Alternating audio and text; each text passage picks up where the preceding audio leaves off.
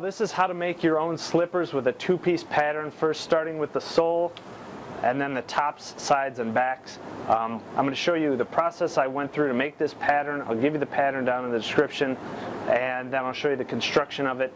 And I actually use hot glue. It can't be simpler. You just glue it together. Um, so let me show you how to make it. Well, I realize this might be a bit of a long video, so if you want to just see the actual uh, slipper making and construction, you can skip ahead. I'll put a time for it. But in the beginning, I want to talk about how I came up with the pattern, why I'm building the one I did, and everything involved. Um, so I needed new slippers for the basement. I'm always walking around here in the shop, and you can see, you know, these are worn out. They're good, but they're all ripped up.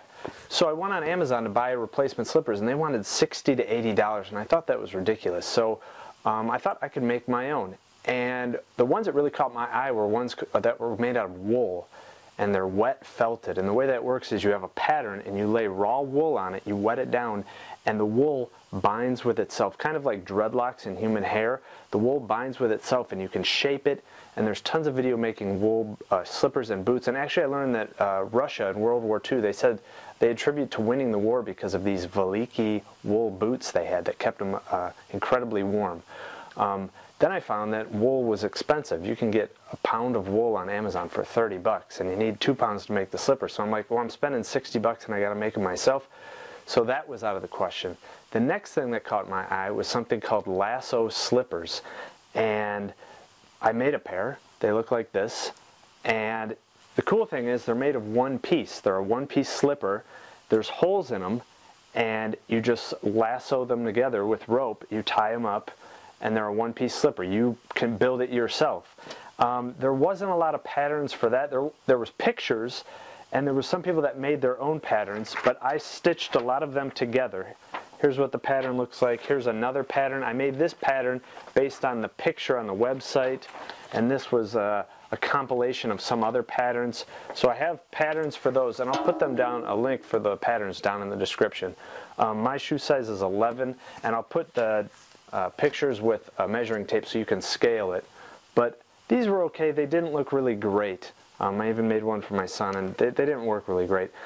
Uh, the material I'm using is not uh, wool. It's felt. It's carpet padding that's felt. It's not the typical carpet padding that's foam. This is uh, strong and I've used it for a ton of projects in our house. I've used it for insulation. I wrapped our hot water tank. I used it to uh, seal our garage door so it's strong, it's robust, it holds its shape. Um, it's not too coarse, although I lined my final slippers, I lined them with a softer material. But this is great material, it was free so it's not costing me anything.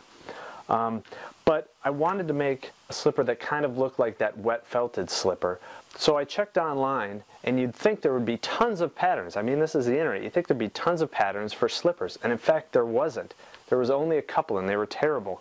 Um, if you look, you'll see this pattern and this pattern. This is it. You're like, this is not what I want. So there was hardly any patterns for slippers. So I ended up having to make my own patterns. I had this and I had this and this and I made a ton of patterns to try to get the look I wanted. And this was the first slipper I made. It was not at all good looking, but it fit and it kind of got me on the right track. It's two piece. There's a sole and a top. The top sort of looks vaguely like this. Um, and I actually sewed this together. And then I realized later on, wait, may, let me try the hot glue gun. And in fact, the hot glue gun worked so much better. It was stronger and it went quicker. So all future ones I built, I used a hot glue gun. Um, this was the next one I made. Again, it was a little better. I cut uh, relief slots in the side, kind of like the wet felted slippers I liked that you could buy online for 80 bucks. But this was a little bit closer. The back was a little bit rough and I didn't really like this pointy shape, but that was a little bit closer. Again, two piece, the sole, and the pattern for the sole is really easy. You just trace your foot, add a quarter of an inch on all sides, and quarter inch on the front, quarter inch on the back. So a half, total, a half an inch on the front and back, and a quarter inch on the sides. That's how you get the bottom. The top is another story. We'll talk about that. Um, the next pattern I made were these, and these were are wearable. They're pretty good. I actually lined these with a cloth, so they're a lot softer. I doubled up the sole, so there's double, there's two layers of this felt on the bottom. Um, they're really warm, and they have a better shape to them, kind of the shape I was looking for. They hold on your foot.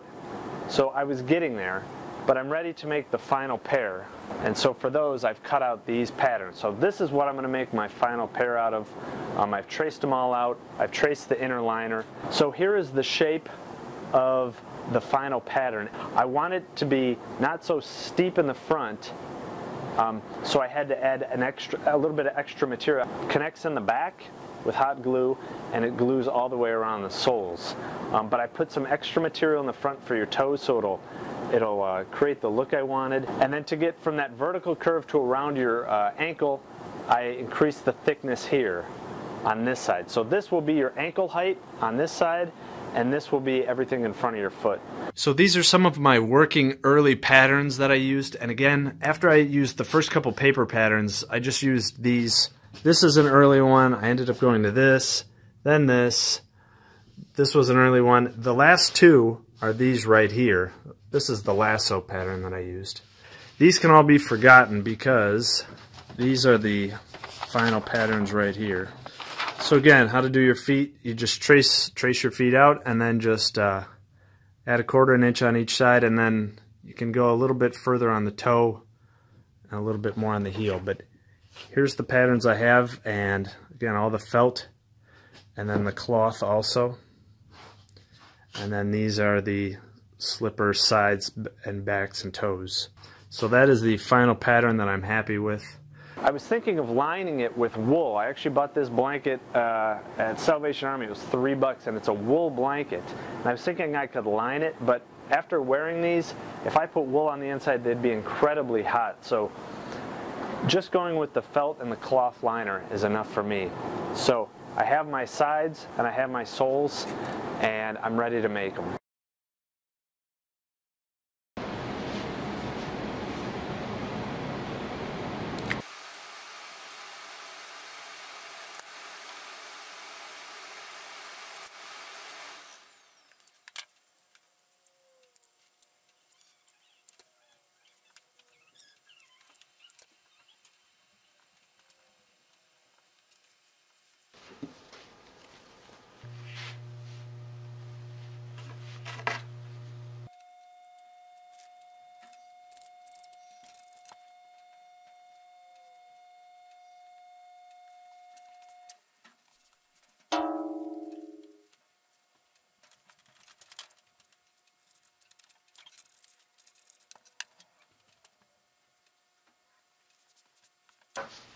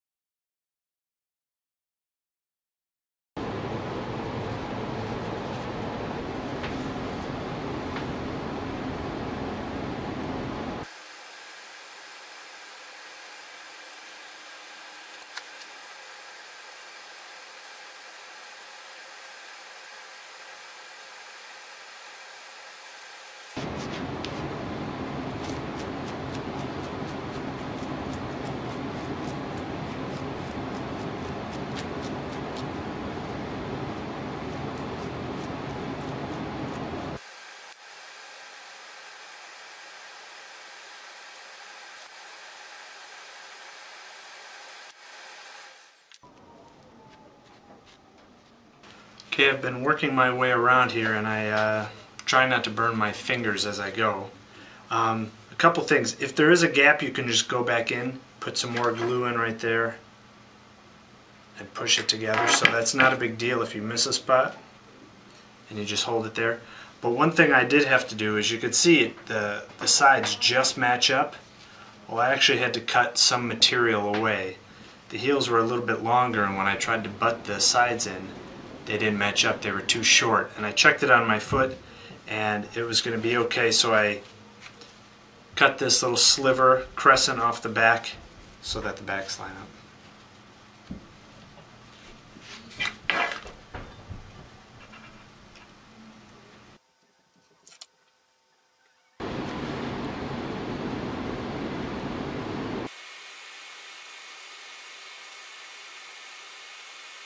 Okay, the uh, slipper's all done, and you can see the front's the hard spot, and you kind of just got to get it on there. But once you get going, the back matches up a lot better. You can see I did a lot better on this backside.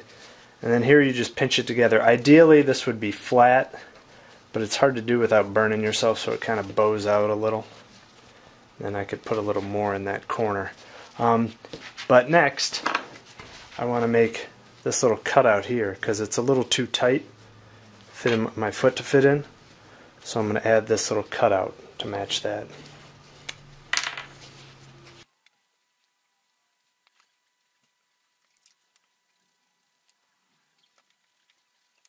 There we go.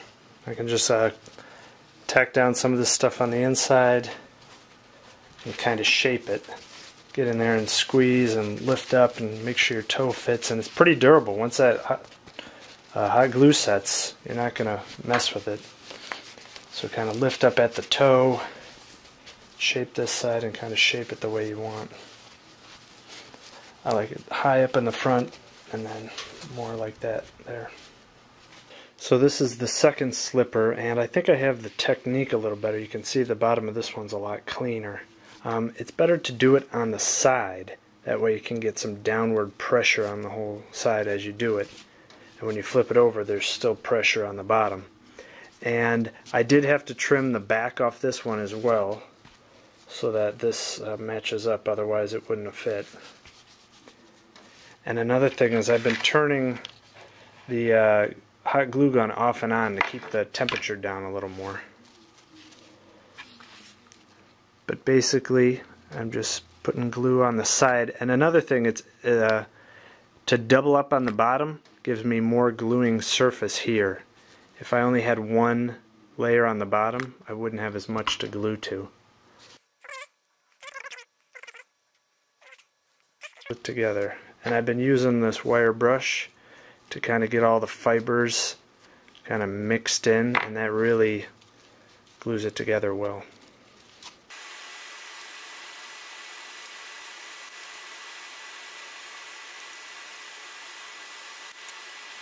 Well, here's the finished product. Um, the whole process maybe took about an hour at the most. The hard part was the days developing the pattern. And the second one I did uh, took half the time and turned out twice as good, as always the case with these things. The first one I was kind of finding my way. The second one I had it where I was flipping it over back and forth, back and forth. Um, I know they're not the most stylish thing in the world. Nobody uh, I've shown them to has liked them. Um, same with these. When I made before these, I put the fuzzy side on the outside these are a little smaller and tighter and more to my foot, and I put the uh, fuzzier side on the inside. But they were free. Um, I made them in the style that I wanted to, kind of like the wool ones I saw online for 80 bucks. Uh, a couple things to note. I did go through about 10 uh, glue sticks when doing these, so they do use a lot of glue. And um, I used this silicone mat that I have. And this worked great because any hot glue just peeled right up. You can see on this table, the first one I didn't use it and this hot glue stuck to it and I can't get it off. Um, so if you're looking for some slipper patterns online, I know there isn't many out there, this is the basic shape. This will get you started hopefully um, for a two-piece slipper, a sole and a back, seam down the back. So you don't have to make them like this, but you can use my pattern and uh, use my dimensions and uh, hope you like them. Thanks. Well, I hope you liked the video you just watched. If you did, feel free to subscribe by clicking the button on this side. You can also check out all the videos I've done, um, the playlist from things I've built, things I've fixed, home repair, 3D printing. And on this side, you can check out a recommended video similar to the one you just watched. And as always, down in the description, I'll put a link to my blog, which has more pictures and more information about the video you just watched. Thanks.